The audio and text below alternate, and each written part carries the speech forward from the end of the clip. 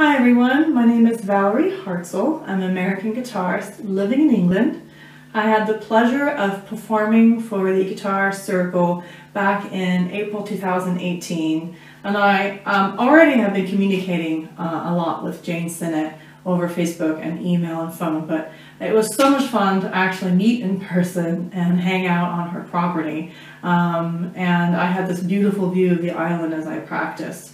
Um, uh, the Menai Railroad Museum, I think is where I performed, and I got to play her piece that was written to her by Mark Houghton. Um, this is Dawn at Ynys Goch. Thank you.